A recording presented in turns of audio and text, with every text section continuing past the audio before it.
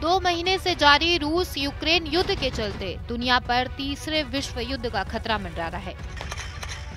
कई देश इस युद्ध में यूक्रेन की मदद कर रहे हैं। ऐसे में खबर है कि भारत एक बार फिर अपने दोस्त रूस के साथ खड़ा दिख रहा है।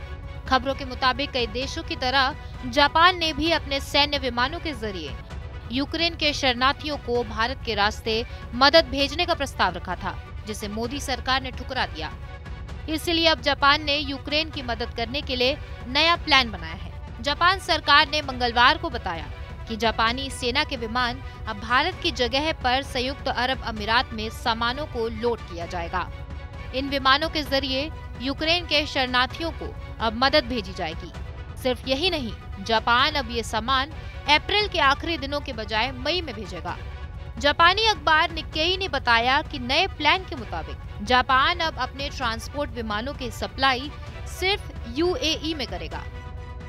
बता दें कि इससे पहले इसे भारत में किया जाना था, लेकिन भारत ने जापान के इन विमानों को उतरने की इजाज़त नहीं दी थी। जापान की यह सप्लाई मई से शुरू होकर जून के अंत तक चलेगी। हर हफ़्ते एक विमान भेजने का प्लान है।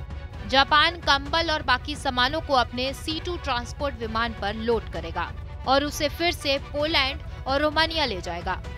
पोलैंड और रोमानिया में सबसे ज़्यादा शरणार्थी हैं। जापान का कहना है कि वो शरणार्थियों पर संयुक्त राष्ट्र उच्चायुक्त के अनुरोध पर मानवीय अंतर्राष्ट्रीय सहायता कार्यक्रम के तहत इस सप्लाई को भेज रहा है। इससे पहले जापान का प्लान था कि यूएई की बजाय इस सप्लाई को भारत में विमान पर लादा जाए।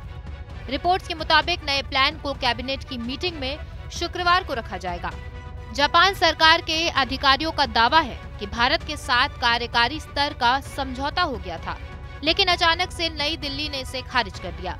दरअसल भारत के रूस के साथ दोस्ताना संबंध है और यूक्रेन युद्ध में वो पूरी तरह से तटस्थ रहा है। भारत ने पश्चिमी देशों की तरफ़ से रूस के ऊपर लगाई गई पाबंदियों में शामिल होने से इनकार कर दिया है। भारतीय विदेश मंत्रालय ने साफ़ किया है कि भारत अपनी ज़मीन से जापान के सैन्य विमानों को यूक्रेन को सप्लाई भेजने की अनुमति नहीं देगा। भारतीय विदेश मंत्रालय ने कहा है कि सैन्य विमानों की जगह पर व्यवसायिक उड़ानों को अनुमति दी जा सकती है। विदेश मंत्रालय के प्रवक्ता अरिदम बागची ने कहा कि जापान ने मुंबई में सैन्य विमानों को लैंड करने की अनुमति मांगी थी। जापान यहाँ से यूक्रेन को मानवीय सहायता भेजना चाहता था। बागची ने कहा कि हमने जापान को बता दिया है कि इस तरह की सप्लाई को व्यावसायिक विमानों का इस्तेमाल करने पर इजाज़त दी जा सकती है। विश्लेषकों के मुताबिक जापान सैन्य विमान के ज़रिए मदद भेजकर यूक्रेन पर रूस को संदेश भेजना चाहता है। यूक्रेन युद्ध पर तटस्थ रूप के कारण भारत को ये मंजूर नहीं था। तो कैसा लगा आपको हमारा वीडियो? हमें कमेंट सेक्शन में ज़रूर बताइए। बाकी देश और दुनिया से जुड़ी तमाम बड़ी खबरों के लिए सब्सक्राइब करिए हमारा channel TV nine Bharatvarsh digital.